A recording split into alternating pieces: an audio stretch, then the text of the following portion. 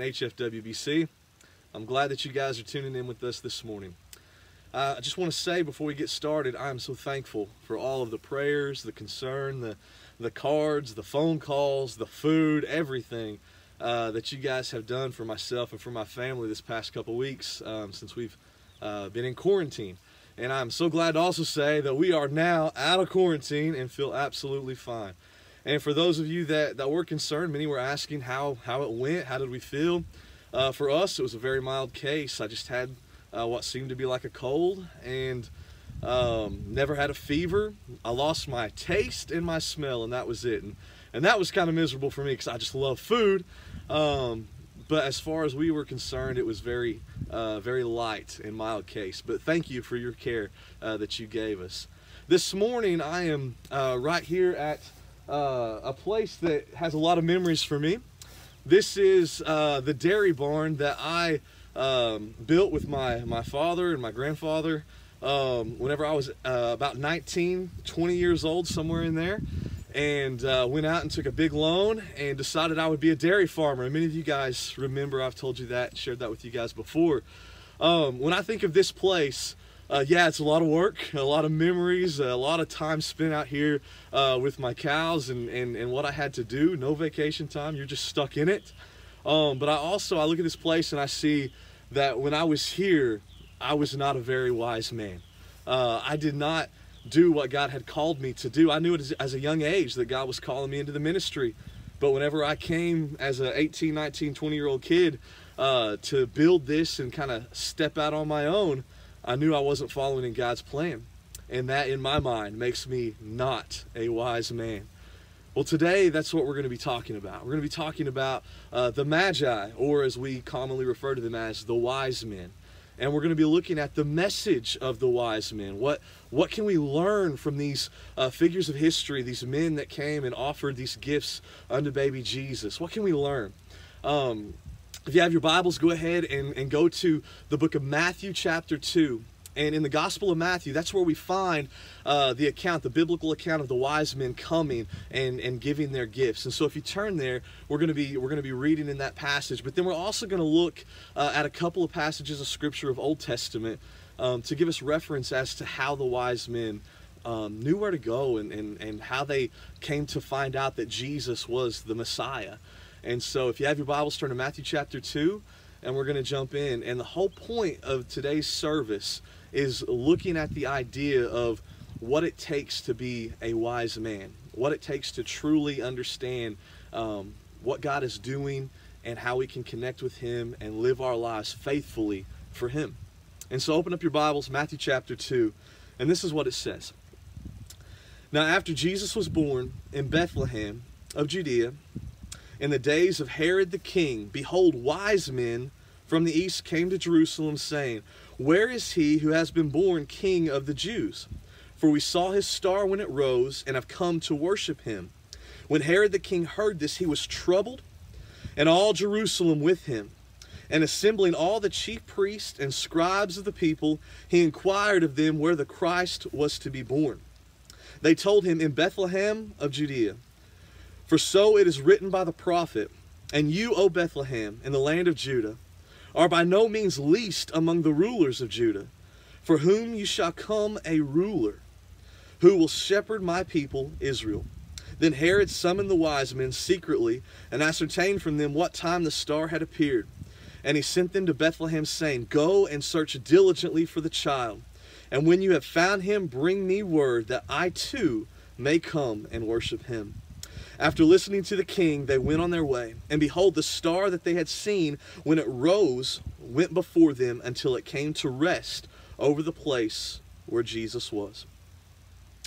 When they saw the star, they rejoiced exceedingly with great joy.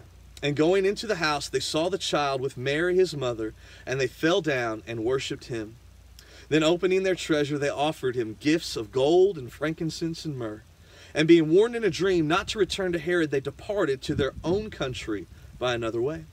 Then Herod, when he saw that they had been tricked by the wise men, came, became furious, and he sent and killed all male children in Bethlehem and in all the region who were two years old or under, according to the time that he ascertained from the wise men when we look at that passage of scripture, we see uh, a beautiful story, and, and, we all remember and, and, and look at our nativity scenes, and we see these beautiful figurines that are dressed in, in fine clothes, bringing uh, gifts to baby Jesus, laying them down, expensive gifts, laying them down in their act of worship.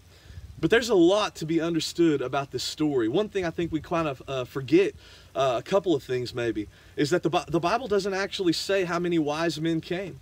We come to the idea that there was three uh, by the fact that that's how many gifts the Bible mentions, gold, frankincense, and myrrh. Um, but there could have been many more because when we understand the biblical account of magi and wise men, there, there are many. But when we come to this story, that's what we kind of always think in our Western tradition. That's what we have is three. Another thing that we kind of fail to remember is that the wise men did not come uh, immediately at the birth of, of Christ. They weren't there when Jesus was, was born. It was much time later uh, that that actually happened. And looking at this passage of scripture, we understand from verse 16 as King Herod, he's furious, he's upset, he's kind of troubled because he's the king. And now the wise men are coming to pay tribute to another king that has his same title. He's upset about that. Well, Herod says whenever the wise men they don't come back, uh, he gets furious, and so he goes out and he says, "Let's take and let's kill all the male children two years and younger." So that leaves us with an understanding that the wise men they must have come somewhere around maybe a year and a half to two years after the birth of Christ. Well, that should give us some some questions to be coming about in our mind um, that, that I definitely have, and maybe you've had in the past, that maybe we can address this morning. But the questions that I have are what took the wise men so long from seeing the star to actually coming and paying tribute and worshiping and, and, and giving themselves to, to baby Jesus? What took so long? How did they discover the meaning of the star? When they saw the star in the skies, how did they automatically put into place that, that this is a, a new king? How did they put into place that this is uh, the Messiah, that we are going to go pay tribute to the King of Kings? How did, how did they come to that understanding and knowledge? And what does this new knowledge mean for the wise men? What, what did this knowledge actually do for them after they came and, and figured that out? The key figures we're going to be focusing on today is, uh, of course, the wise men of course, baby Jesus, but also King Herod. And so we're going to be looking at all three uh, this morning. Uh, some things that we know of the wise men to help us answer these questions that we have. And the first question we have is, what took them so long? Well, some, some things that we know about the wise men. The Bible says that they came from the east.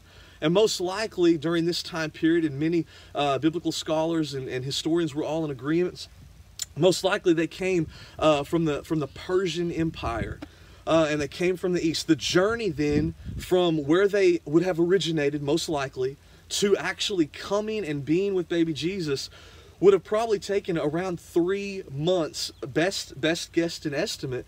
Yet the biblical account shows that it could have been upwards to two years, a year and a half to two years.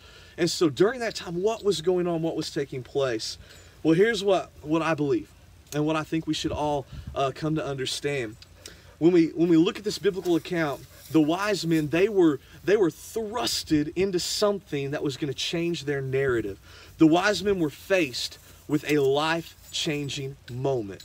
And so from this point, they had to figure out what is our next step. When they saw the star, whenever Jesus was born and the star, it was, it was shining bright, and the wise men, being uh, astrologers and, and studying astronomy, they saw this star. That moment started a journey in their life that they were face to face with a life changing moment. Some things that we know about the wise men.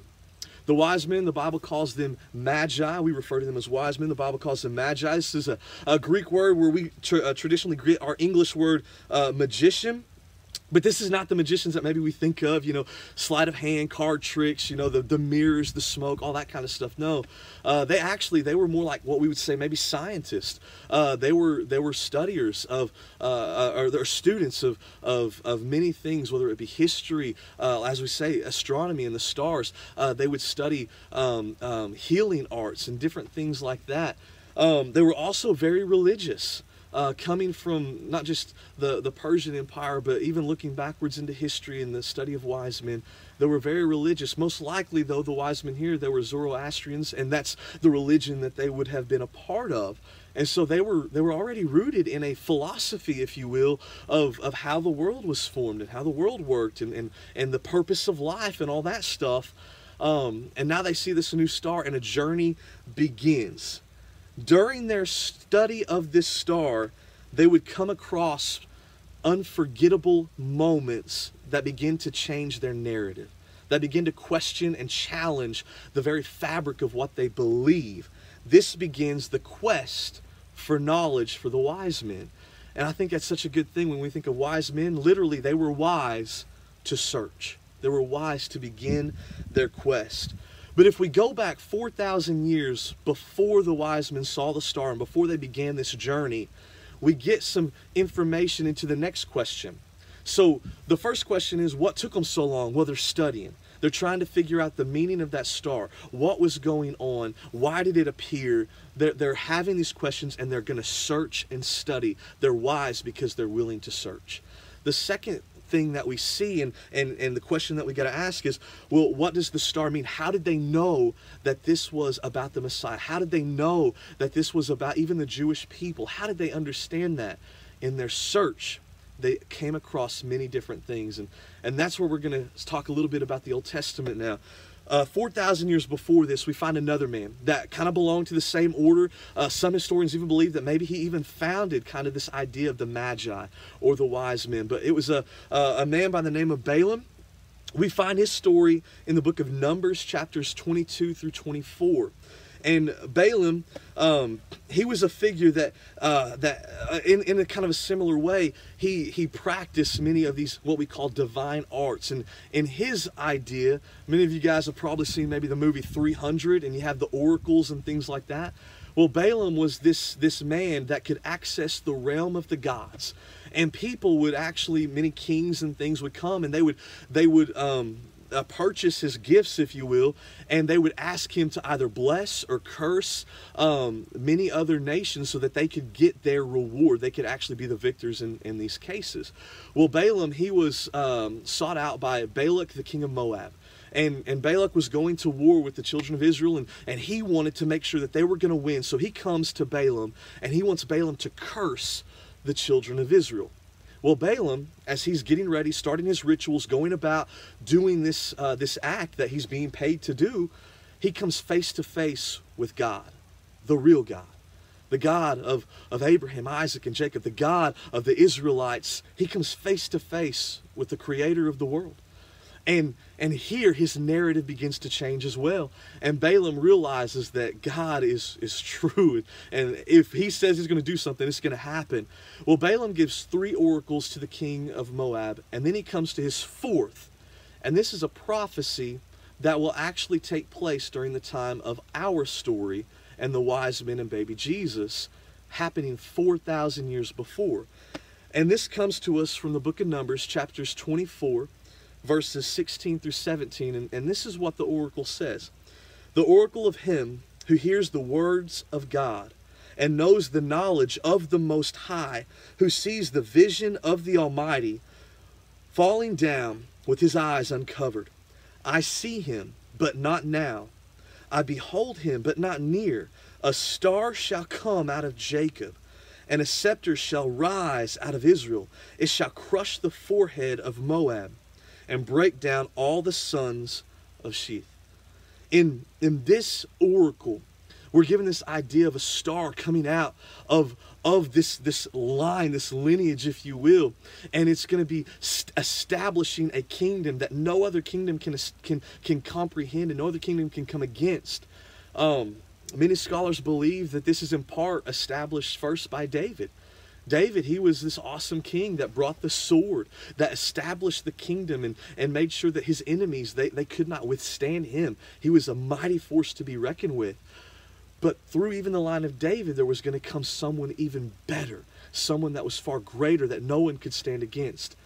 And there comes Jesus, the King of Kings, the Lord of Lords, and the star is a given as, as a prophecy in that regard of the scepter shining. Here we see that. This was Balaam 4,000 years before the wise men. Now, what's interesting about Balaam is we believe that he also uh, would have been of this order and potentially of the Persian uh, Persian order. And his writings would have actually endured, not just in Jewish history, but in Persian history for, for years to come, sitting on shelves as history goes and goes, and many different magi and wise men would rise and fall, his writings would be there. This would have been a writing and an oracle and, and, and a prophecy that our wise men could have grabbed a hold of and been given privilege to and sight to. Something else we see coming from the Old Testament is another figure in history that we all know, and his, his name is Daniel. And this man, Daniel, he was an awesome figure in history. He, he was an, an Israelite. And Daniel, he, he was taken from his hometown. He was in exile. He was, he was stripped from his family and his heritage, his religion, everything. And he was brought into the Babylonian Empire and then eventually taken over by the Persian Empire. And yet, in, th- in through all of this, this turmoil, he grew and grew in wisdom and stature and even fame and he also grew in the royal courts. The Bible tells us in Daniel chapter 2 that he actually rose to become the, uh, the leader, if you will, of the wise men. Daniel chapter 2, verse 48, this is what it says. Then the king gave Daniel high honors and many great gifts, and made him ruler over the whole province of Babylon, and chief prefect over all the wise men of Babylon. Now, this would have been right before the Persians would have overtaken uh, the kingdom of Babylon. But what we see is Daniel rose through the ranks to actually become this chief prefect of the wise men, of the Magi. Daniel was a man in history, as we go back and we look at his book, that he interpreted dreams, he prophesied. He was a man that stood firmly for his faith in God. He never wavered. They tried to give him a new name, he didn't care. He was Daniel. That's who he was going to be. He was a child of God. Well, Daniel's writings also lived on throughout not just Jewish history, but throughout the Persian Empire and Persian history.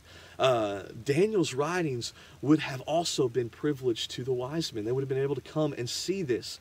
Daniel also had a prophecy that would have played out in a, in a series of years right before the birth of Christ in what we would know, be, be later become to be known as the Maccabean Revolt.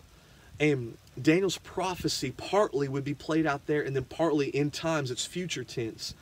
But the part that played out there had such a dramatic impact on the nation, the children of Israel, the Jewish people, that it also would have reached the wise men during this very day. Um, the impact would have would have made an uh, evangelical movement that would have given birth to the, the Pharisees, that would have took the teaching of the law and making the proselytes and, and being this idea that we need to get the word out that the Messiah is coming. And so the event would have started and ignited a spiritual revival among many Jews that would have even reached the Persian Empire because many Jews would still be living there. Many Jews did not make it actually back to the kingdom. They would still be in what they would consider exile, living there. But this event that happened right before Christ would have been such a big, impactful moment that the Messiah, the preparing the way, it would have been made known even in the Persian Empire. So the wise men, as they're uncovering the, the, the writings of their own people, are now hitting into prophecy about a Jewish king, a Jewish Messiah. And then they would have probably went and started studying Jewish writings of Isaiah, started studying all these other prophecies about who this Messiah will be and what his kingdom will be like. And so, in the course of a year and a half, uh, a year to a year and a half, they would have been studying and learning, and their narrative would have been challenged. Well, then there comes the next question what would they do with this knowledge? if they understand and their own their own religious uh, men they, they have this idea that they have their god and, and their god is supreme what do they do with this knowledge of a messiah of the son of god coming to deliver and save his people and the world. What do they do with this knowledge? Well, when we look at the Bible in Matthew chapter 2, what we see, they went. That's significant. And here's some reasons why it's significant. I got five main reasons of why I think that's significant. One, uh, the Persians were still at war with Rome. Just years before this, in that Maccabean revolt, the Romans actually came and defeated the Persian Empire and took over the, the realm of Jerusalem. And they, this, this now under Jerusalem rule, which is why in the time of Christ, the Romans are very much at play in, in, in the biblical narrative. And so they were at war. Well, these magi from the east and most likely the Persian Empire are now making their way to a section controlled and occupied by Roman authorities. That takes a lot of guts to go and do that. Um, they're challenging their own narrative about their God, going and paying tribute to someone else. They're going and they're they first go and they seek out the current king of Jerusalem, Herod. And Herod is a nutcase. He ends up actually killing family members. He is terrified uh, that he is going to lose his position as king. And, and yet these wise men come in what may, might seem like an unwise kind of way, and they approach Herod. Hey, we heard that there is a king to be born, king of the Jews. Herod, that's my title. Yet they, they still go. They're, they're willing to do that. The Persian king was given the title King of Kings whenever the wise men come and they are worshiping and laying down their gifts to Jesus, they're bestowing on him the title King of Kings, Lord of Lords. He is the King. And they're so they're challenging their narrative. They're challenging what is there, but then also this road that they have to go on that should take them roughly three months to get uh, to, to Jerusalem. It's not an easy road. There would have been bandits, robbers. There would have been the elements that they have to endure as they're camping out and walking and probably riding their camels and all that they're doing. And then also you have whatever it might be, the animals, the beasts, what, what have you that could come against them. They're risking everything from religious aspect to social class to their own king to a foreign nation and a foreign king and a foreign power that's that's coming against them. They are risking everything to go and lay their treasures down at the feet of the king of the Jews who doesn't even have an empire yet. The Romans are the empire. The king of the Jews, whose people are not very important on the big realm and scheme of the world. The Persians have an empire. The Romans have an empire. The Jews, no, they have nothing. Yet they come and lay down these gifts of wealth and prestige and have so much symbolism to them because they are worshiping the King of Kings and the Lord of Lords. What did the wise men do with this knowledge? They let it change their heart. They let it change their narrative. They let it change everything. And they went and worshiped the King of Kings and the Lord of Lords. Why are the wise men wise? Because they sought. They sought the King. They sought the information, they sought the news, they did the work. And then when they did it, they allowed it to penetrate and change their heart. And they acted on that change through worship. That's what the wise men did. Wonderful figures in history. Well, there's another story, figure in this story, and that's King Herod. And I want you to look at King Herod. He had the same understanding as the wise men. When the wise men came and said, We saw this star, Herod said to his personal wise men. He said, "Hey, I want you to understand what does that mean? What are the prophecies that are that are coming about? Is there a prophecy of a coming king and a Messiah? And the prophecy comes and they bring it's going to be in Bethlehem. Herod has all the information. He is face to face with a life changing moment. The King of Kings, the Lord of Lords, has come. Should I go and worship him? Herod has the same information, the same news, but his heart is hardened. And instead of worshiping the king, he issues a decree that we are going to go and we are going to murder and to kill all of the male babies two years and younger. He's a nutcase. His heart is hardened. The wise men will go down in history as men who truly understood and gave tribute and worshiped the King of Kings and Lord of Lords. Herod will go down in history as the man who squandered it all. He had the knowledge, he had the resources, he had everything, squandered it all. That's the difference. That's what's taken place in this story. When I think of this wonderful scene, I then have to bring it back to my life. There are many times when I am faced with a life changing moment. I've had many. Whenever I had the life changing moment to move to Homerville and leave my family behind, that was huge. But God brought it to me, put it in my court, and I had to seek Him and His will and understand it. I had another life changing moment, and it's right here.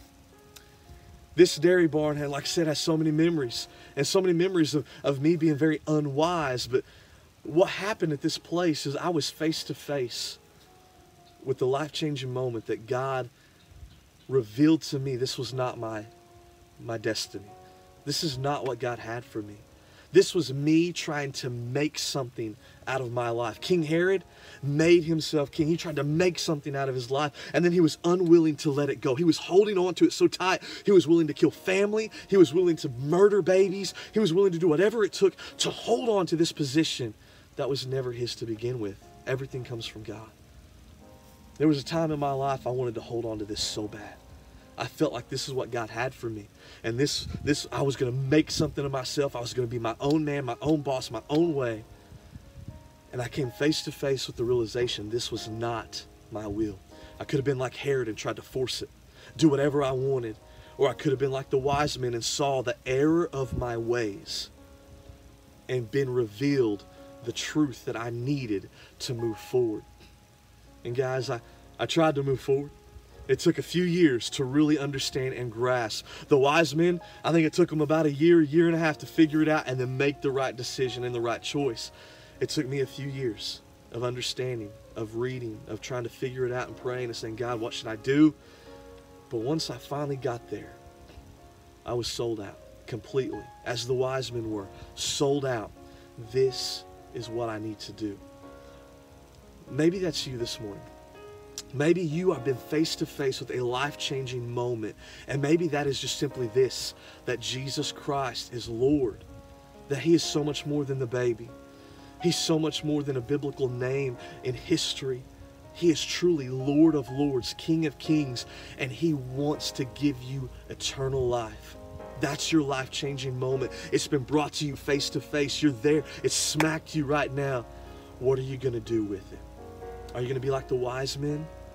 Or are you going to be like Herod and push it away? It's our choice to make and figure out the direction that we are going to go. But we have to make it. Maybe you're here today and you're face to face with, with the direction that God is trying to lead you. Maybe He's trying to push you into a ministry. Or maybe He's trying to push your family in a different direction than you have them going right now. Maybe you're not doing some things that, that you know uh, you should be. Maybe there's some sin in your life, in your family life, home life, that you know shouldn't be there. God is smacking you right now with that life changing moment. Let's get real. Let's make a decision. Let's be wise. Let's live in the way that we should to truly bring about change, the ultimate change, the right change, and to be able to live for righteousness and for God. Christmas is all about the wonderful gift that was given. It's about the gift of God literally coming into this world to show us the way, to rescue us from ourselves, and to give us eternal life. Christmas is also about us recognizing the gift and grabbing hold of it. I hope that you've recognized who Jesus is and that you've made him your Lord. You've made him your King and you're living for him today. Church, I love you so much. I hope you have a wonderful Christmas and a very happy new year. And I look forward to seeing you guys again next week, right here, as we continue online services. I love you all.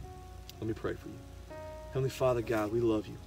And Lord, I thank you for this wonderful gift that you've given us 2,000 years ago of your Son coming and, and, and busting through to this world. God, so that you could truly show us what love is. You could show us what it is like to truly connect to you and to live for you. God, my prayer is for every one of us here watching today that we might have a direction and a, and a way that we think we want our lives to go. But God, the moment that we see you and truly understand who you are, we're willing to let it all go and live for you. God, let us be wise as we know wise men still seek you. In Jesus' name we pray.